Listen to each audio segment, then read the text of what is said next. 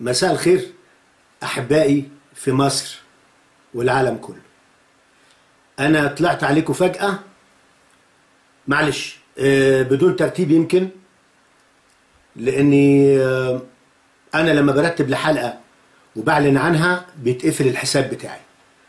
فأنا قصدت إن أنا أدخل بدون ما أعلن عن الحلقة عشان الحساب ما يت- ما يتقفلش. كمان في ناس استغربت إن في مسلسل الأغنية بتاعت التتر بتاعته عاملها فضل شاكر. فضل شاكر ده مين؟ ده مجرم. من من من من, آيزس من داعش. كان بي بيقتل وبيدبح في الناس. لكن عادي. عدى وجه مصر وتمامه موجود لدرجة إنه غنى وعمل لحن ده يدل لك على إن إيه اللي فيه إيه فيه في مصر. الدنيا ماشية إزاي في مصر؟ أنت بتفرج عن إرهابيين وبتطبطب على أفراد من داعش وبتديهم فرصة في الوقت اللي بيتكلم كلمة حق ويقول لك تيران وصنافير مصرية تسجنه. اللي يقول لك في اضطهاد للأقباط تسجنه. اللي يتظاهر عشان كنيسته عايزها تتبني واتقفلت تسجنه. لكن تفرج عن الإرهابيين ده يدل على إيه؟ ما أنت لازم تفكر. أنت لازم تفكر. ما يقول لك آه أحد أحد المتهمين بقتل السادات اللي مفرج عنهم وبيظهر في الإعلام أحيانا هو نفسه اللي بيمول أفراد داعش في سينا الولاية الإسلامية في سينا. طب الدولة سايباه ليه؟ مش واخدة بالها؟ لا والله واخدة بالها. لا والله واخدة بالها قوي الدولة. واخدة بالها كويس جدا. طب سايباه ليه؟ دوله في دماغها حاجات معينة. وخطة معينة. طيب. لما تيجي يقول لك وزير تعليم يقول لك هنشيل اللغة الإنجليزية. هنعرب ال... هنعرب كل حاجة. دي سقطة رهيبة سقطة رهيبة. وبعدين يقول لك اللي عايز بقى على حسابه. مستوى البلد ينحط إذا انحط مستوى التعليم. طب أنتوا عايزين تودوا البلد فين؟ أنتوا عايزين تودوا البلد فين؟ أنتوا عايزين توقعوا البلد. أنتوا بتهدوا في البلد. أنتوا مش عايزين تقوموا مصر. أنتوا لو عايزين تقوموا مصر طلعوها فوق. تعليم جيد. تدي موازنة بيقول لك الموازنة بتاعت التعليم نقصوها مش عارف من كام لكام. مش عايز يصرف على التعليم. ما تهموش هو يصرف على السلاح. ما يصرفش على الأراضي والصرف الصحي يصرف على السلاح. هو يمنع الرز. الرز يتمنع عشان بياخد مية. بس عادي نعمل نعمل مزارع جولف ونعمل ملاعب جولف ونعمل حمامات وفي حتة تانية. لكن الناس ما تاكلش رز. ليه؟ عشان نستورد الرز. ما هو نستورد الرز تزيد الديون وننزل تحت تحت ونسينا المقولة إن لا من لا يملك عيشه لا يملك رأيه. قمح ما, ما بنزرعش براحتنا وبنستورد؟ كمان رز ما نزرعش وبنستورد. طب المطلوب إيه؟ المطلوب البلد تسقط. لأن يعني زمان لما كانوا قبل قبل ما يقسموا الاتحاد السوفيتي ويسقط الاتحاد السوفيتي من ولايات كتيرة أيام حكم جورباتشوف فبعتوا عميل عميل مسكوه مسكوه منصب مهم جدا في روسيا. أمريكا بعتت واحد عميل مسكته منصب مهم قوي في روسيا. قال لهم إيه المطلوب؟ المطلوب أفجر لكم حاجة أحطم لكم حاجة. قالوا لا لا لا لا لا خالص. أنت مش تعمل كده. أنت وظيفتك بس تعين الشخص الغير المناسب في المكان الغير مناسب. شخص غير مناسب تحطه في مكان غير مناسب. عشان كده بقى إيه؟ كله يسقط. تجيب واحد ما يفهمش في التعليم تحطه في التعليم. تحط واحد ما ينفعش غير في الكفتة يعالج الايدز زي عبعاط كفتة كده. تجيب ناس خايبة تمسكها حاجات خايبة. تجيب رموز نكسة قديمة تمسكها المركز المالي وتمسكها تمسكها المالية. البلد تسقط. وكاد أجزم إن لكل اللي ماسكين البلد عايزينها تسقط. كاد أجزم. مش دعوة مني للتساكل لا. كل حاجة هتظهر على فكرة. كل حاجة هتظهر. كل حاجة هتعرفوها. بس ما يضحكش علينا أكتر من لازم لكن قضيتنا دلوقتي قضايا عامة. لما هنناقش في أي مكان هنرجع لقضايانا العامة. الغاء المادة الثانية من الدستور. علمانية الدولة. علمانية الدولة. دستور يعتمد على مواثيق حقوق الإنسان ويوازي كل بين كل أفراد الشعب. دي حاجة. بناء الكنائس حر يبقى زي بناء بناء الجوامع. ما يخضعش للأمور ال- اللي بتحصل. حرية العبادة وحرية التبشير. حرية العبادة وحرية التبشير. الحق ال- ال- ال- القبطي وحق كل الأقليات في كل الوظائف لغاية رئاسه الجمهورية. مش نائب كمان. لا لغاية رئاسه الجمهورية. حقه في وطنه. حقه في وطنه. حقه في وطنه. إلغاء القوانين الاستثنائية لازدراء الأديان اللي ماشي في اتجاه واحد والحاجات اللي زي كده. عودة جلسات النصح والإرشاد. آه، معاقبة كل المسؤولين عن أحداث الخطف البنات في مصر. ودي جريمة جريمة إبادة يعني تعتبر جريمة إبادة وكبت ومسح عرقي. يعني لا تسقط بالتقادم وتعتبر جريمة من جرائم الحرب. دي مش مش مش هنتنازل عنها ابدا إن إحنا نتناولها. جريمة قتل ال- الأقباط في وحداتهم إن كل قبط يتقتل في وحدته. ده برضو مش مش هنعديها كده خالص. الحاجات دي كلها قضايانا الأساسية اللي مش هتنازل عنها. اللي هيفتكر إنه هيعمل لنا شيفت بالحركات النص كم دي بشوية الترابات تاتو اللي أنت بتعملوهم دي لا خلاص انتهى الموضوع. شوف لكم قصة تانية لأن في ناس تقيلة وفي ناس دماغ عالية قوي بتفكر وبتقدر تفهم أنتوا عايزين إيه واللي أنتوا عايزينه مش هيتم انكم أنتوا مش اذكى من العقليات اللي موجودة هنا. إحنا لا نملك سلاح واللي نملكه بس حب الوطن ووطنيتنا وإخلاصنا لبلدنا وحبنا إن بلدنا تبقى أحسن بلد في الدنيا. وبنقاوم الجهلاء والخونة والجهلة اللي ماسكين البلد اللي عايزين يهدموا البلد لأن إحنا اللي بندور على صالح البلد. وعشان بندور على صالح البلد مش هنسيب ده. مش هنسيب ده هنكمل. في النهاية بقول إني آه، مش هنسيب القضايا دي.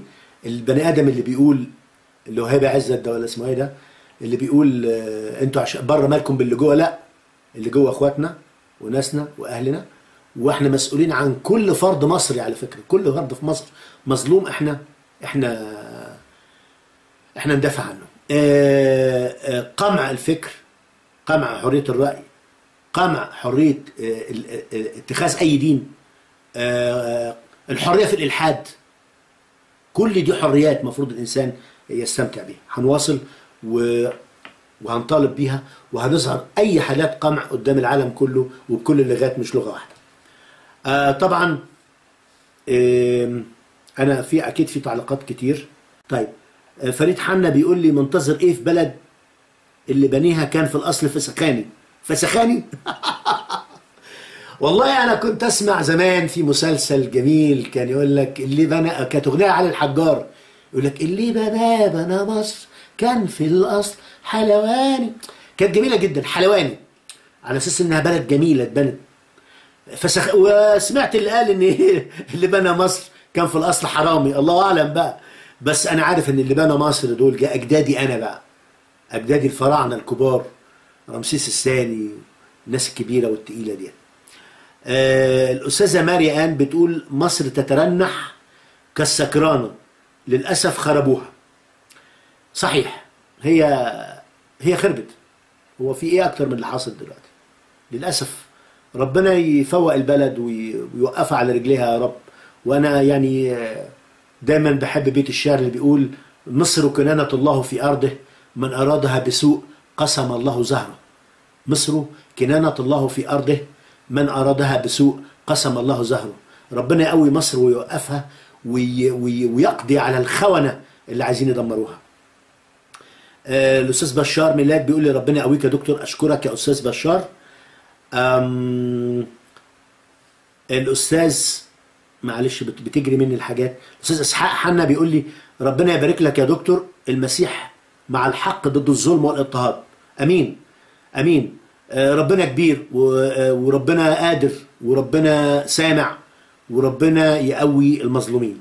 تعيش يا أستاذ إسحاق آه، الأستاذ سليمان الغال الجولي أستاذ سليمان الجولي بيقول لي صح تعيش يا أستاذ سليمان. ميرسي جدا لكلامك.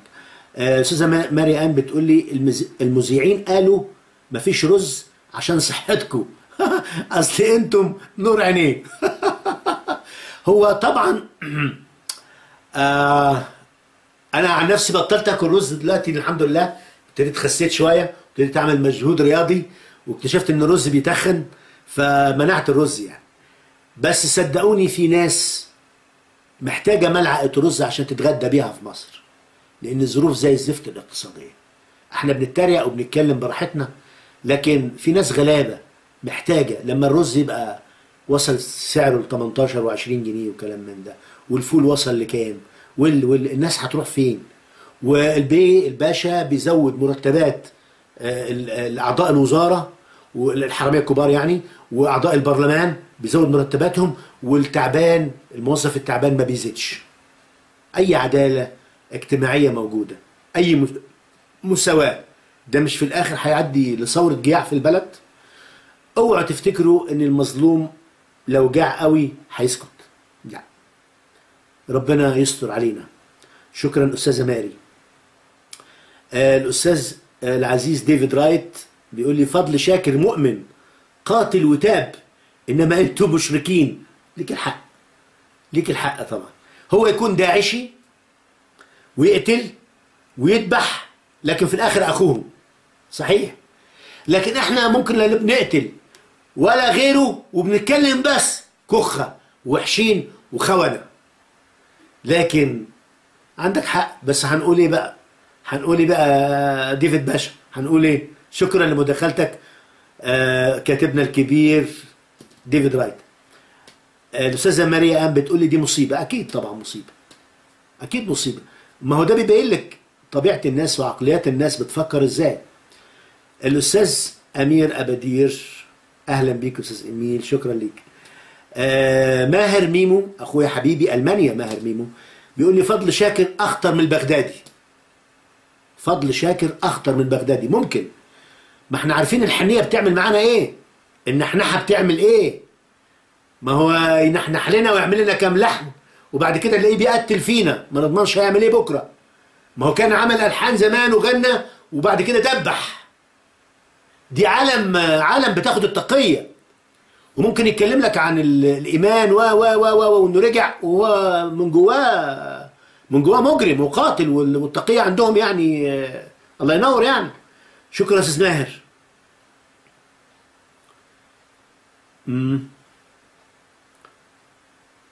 صح وربع. الأستاذ ماهر تاني بيقول صح وربع. شكرا أخوي شكرا. آه، الأستاذ إسحاق حنا بيقول لي آه، لا شفنا نجاحهم في أي شيء. بل فشل فظيع والخيبة التقيلة في كل مؤسسات الدولة. وبس بتشطروا علينا إحنا الشعب المسالم. وإحنا بعد ما وقفنا مع السيسي يطعنا في الظهر يحرق كنايسنا ويفجرها ويقفلها وخطف الفت... ويخطف الفتيات من بناتنا ويقتل شبابنا في الخدمة الج- الجبرية. أساء... أسأت لينا يا سيسي بدون سبب للأمن روحوا تشطروا على اللي بيديكم على قفاكم أثيوبيا وحماس الإرهابية وتركيا وأخيرا تطلبوا الرئيس الإسرائيلي يتوسط لديكم مع أثيوبيا. والله آه، هو تعليق طويل يا أستاذ إسحاق بس أنت فكرتني بمثل بيقول لك ربنا بيسلط أبدان على أبدان. بيسلط أبدان على أبدان. يعني الحكومة بتاعتنا بتذل الأقباط. بيبعت لهم اللي يذلهم من بره إسرائيل بتذلهم وتركيا بتذلهم وأثيوبيا وجنوب أفريقيا دلوقتي بيذلوا مصر عن طريق المية. وهتوصل مرحلة إن مصر هتتركع عشان شربة المية. ومش هيبقى قرارها في إيديها. مصر هتتركع علشان شربة المية. ومش هيبقى قرارها في إيديها. والزعامة المنفوخة الكدابة دي هتروح. وللأسف ده غضب ربنا. عشان ما استخدمتوش العدل مع الناس وعشان استقويتوا على الأقليات وعشان اضطهدتوا الأقليات وعشان اتبطلتوا على الضعفاء بيبعت لكم اللي ياخدكم على قفاكم. للأسف. أنا بقول ده وأنا محروق لأن بلدي دايما عايزها فوق وعايزها شامخة. لكن للأسف أنتوا دوستوا على اللي تحتيكم. دوستوا على الضعيف. جاي اللي هيدوس عليكم عشان أنتوا هتكونوا كمان ضعفة. من لا يرحم لا يرحم. من لا يرحم لا يرحم. من لا يرحم لا يرحم.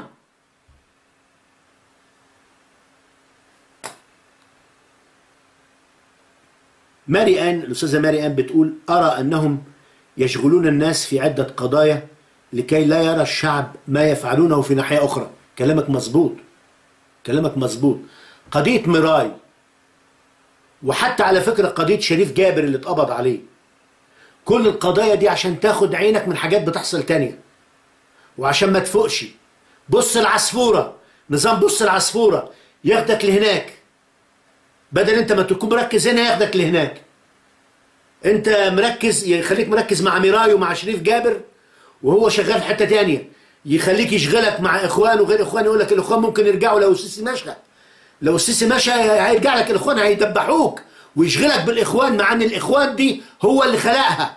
فزعت الإخوان دي هو الأمن هو اللي خلقها. ويخلقها لك عشان أنت تشغل نفسك بيها. لو مش السيسي يبقى الإخوان مع إن السيسي أنيل من الإخوان.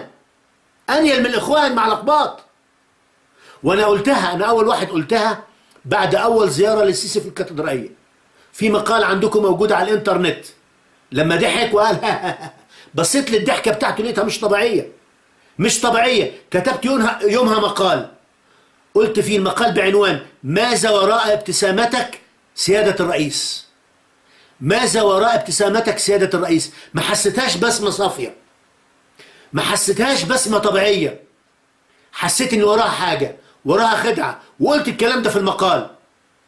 واللي توقعته كان اللي كتبته في المقال هاتوه على جوجل. ماذا وراء ابتسامتك سيد الرئيس؟ وجيه رؤوف. واقروا المقال اللي كتبت فيه إيه؟ كل ما كتبته في المقال طبعا كان إحساس لكن طلع إحساس أكيد. آه، أستاذة مريان صح هما بيشغلونا. ميراي لعبة شريف جابر برضو يشغلونا بيه شوية. زي ما شغلونا بمحمد عبد الله نصر فترة وطلعوه بعد كده. وزي ما شغلونا بإسلام البحيري فترة وطلعوه بعد كده. وعندهم برامج. يعني ممكن إيه كل شوية يطلع لك واحد ما في صف طويل من الناس بحيث أنت تفضل دايما مشغول دايما مشغول لكن أنت تبص تصب على قضايا الر... تشوف أنت إيه اللي بيحصل في البلد تشوف الرز ليه مش هيتزرع تشوف ليه المية مش هتيجي لا ما تدورش. تشوف بدل ما تشتري رافال وبدل ما تشتري غواصات اعمل تحلية مياه وازرع بفلوس الرافال وفلوس الغواصات دي. اشتري محطات تحلية مياه وغذي مصر وعندك بحرين عندك بحر متوسط وعندك بحر أحمر وعندك ثروة. اعمل تحلية مياه وازرع زي ما الدول المحترمة بتعمل. لا غلوش عليك. اشتري فلوس بغواصات مش هيعمل بيها حاجة وانخدم مش هيخدم بيها نفسه بيخدم بيها دول الخليج. وزي ما قال جمال حمدان في الكتاب بتاعه جمال حمدان اللي اتقتل بسبب كلامه قال لك هذه هي سياسة العسكر إنهم يستخدمون الحل العسكري مع الشعب ويستخدمون السياسة مع العدو. يعني مع العدو يستخدموا السياسة ويستخدموا عساكرهم ومدرعاتهم مع الشعب.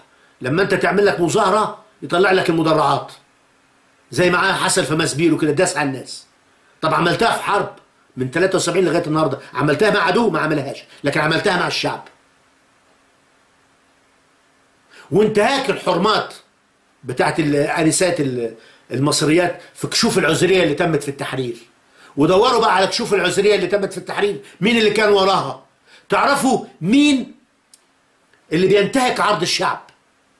وبينتهك عرض الناس اللي عايشة. آه نبيل نجيب بيقول لي عندك حق يا دكتور. شكرا دكتور نبيل أشكرك. آه الأستاذ إيميل أبادير بيقول الحرب القادمة حرب مياه. صح. بس ما إحنا حرب إحنا إحنا مش قد أي حرب على فكرة. سيبك من الاسطوانة الهبلة اللي شغالة دي. لك أي حرب هتتعمل عشان سد النهضة هتخلي كل أفريقيا ضدك وإحنا مش قد كل أفريقيا أنت هتبقى ضدنا. غير كده في دول كبيرة مش هتسكت يعني. الأستاذ إسحاق حنا بيقول لي صح أشكرك يا أستاذ إسحاق. علاء كامل أهلا أستاذ علاء منورني. قال لي اضطهاد ديني وكبت حريات وسياسات تجويع مع تعدد المتضررين قانونيا بدون الاقتصار على طائفة واحدة. فأبشر الانفجار قادم والدماء تتوزع على كل القبيلة. آه هذا ما نخشاه يا أستاذ علاء. لا نتمنى أن مصر تحصل فيها مشاكل. ما نتمناش أن مصر آه تعاني. ما نتمناش أن الناس تجوع. لكن للأسف آه اللي بيحصل دلوقتي بيدفع الناس لده. آه للأسف الفيسبوك ما بقدرش أنا أقرأ عليه كل التعليقات. آه، هو ال system بتاعه كده يعني في 59 comment عندي. لكن للأسف آه، أنا مش قادر أنزلها تحت. فسامحوني يعني. ف آه في الأستاذ بشار بيقول لي معلش يا دكتور كمان تعليق مني وعايز أقوله على الهوا. قدام الكل عن نفسي مرتاح عشان حضرتك بتقول كل اللي على بالي بالضبط. أشكرك يا أستاذ بشار. آه يا رب نكون قد إن إحنا نعبر عن عن آراء الناس و وفكرهم يعني. دي تبقى حاجة كبيرة من عند ربنا. الأستاذ خلف عبد السيد بيقول لي إن رأيت ظلم الفقير ونزع الحق والعدل في البلاد فلا ترتعي من الأمر لأن فوق العالي عاليا يلاحظ والأعلى فوقهما في الجامعة مزمور في الجامعة. أمين أمين يا أستاذ خلف. عارفين إن ربنا موجود. وعلى فكرة لو لو إن إحنا عارفين إن ربنا مش موجود ما نقولش الكلام اللي إحنا بنقوله. لو مش مأمنين إن ربنا موجود كنا نخاف ما نقولش الحقيقة. لكن عندنا إيمان قوي جدا جدا جدا. إن ربنا موجود وربنا عايزنا نقول الحق. ولما بنقول الحق بننام مرتاحين. ولو ما قلناش الحق أنا أنا أنا بستغرب على ناس بتكذب وبتنافق وبتعرف تنام. أنا بستغرب. يعني أنا ما أعرفش أنام غير لما أقول الحقيقة. لو في حقيقة عندي ومش قادر أقولها ما أعرفش أنام. لكن في ناس بتعرف تكذب. وتختل وتنافق وبعد كده بيناموا. يرحمنا ربنا.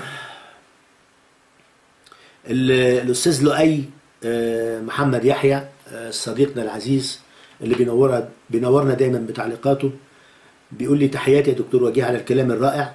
هل تظن أن ما يحدث الآن من تحريض على الأقباط هو مثل التحريض ضد اليهود عندما طردوا من مصر وكان ذلك بمثابة إلهاء عن المشاكل التي عانت منها مصر بعد ثورة 52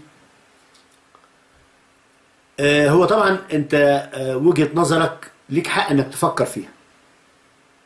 بس أنا هقول لك حاجة. لا. مش صح. اولا الحكومة المصرية تخاف إن المسيحيين يسيبوا مصر. والدليل على كده روح شوف كم التأشيرات اللي بتتاخد بالرفض من كل السفارات في مصر. حتى لو كان الواحد طالع سياحة سياحة بياخد رفض. الحكومة مش عايزاك تطلع. ومش عايزاك تسيب هنا لأنك أنت أسير. هي بتستخدمك أسير. وعلى فكرة هي بتضطهدك عشان تبين إن في إرهاب تاخد على على, على أساس الإرهاب ده فلوس من بره. تقول لهم عايز آخد احارب الإرهاب اللي بيأتي في في الأقباط. وتاخد فلوس من بره. بس العالم ما بقاش عبيد بره على فكرة. يعني بعت لهم واحد تقيل يعني. ترامب ده فاهم. يعني ذكي وصايع يعني. مش أي حد يعرف يضحك عليه. آه كل موظفين السفارات مسلمين. كل موظفين السفارات مسلمين. ولا يمكن فين لما بتتاخد تأشيرة الواحد يعني أنا ليا صديق دكتور كبير وكبير في السن يعني عدى ال 65 سنة. ابنه في كندا. مهاجر في كندا وعايش في كندا وشغال في كندا. حب يطلع يزور ابنه في كندا. الراجل آه، في السفارة قال له مسلم قال لا انت لو رحت مش هترجع تاني. اداله رفض. يا عم ده أنا عندي صيدلية وعندي بيوت وعندي أراضي. قال له لا انت لو طلعت مش هترجع. لا. هم بيستخدموك هم بيحلبوك. الاقباط من أيام عمرو بن العاص. سيبك من الاونطه اللي بتتقال. من أيام الغزو. سيبك من الاونطه اللي بتقال لك فتح وبرضا لا. ده كان غزو. غزو رسمي ملكي ميري كانوا بيحلبوا الأقباط بيحلبوهم. وكان بيقولوا كده على عمرو بن رسمي كده. الأحب- الأ- الأقباط دول حلبتنا. نحلبهم.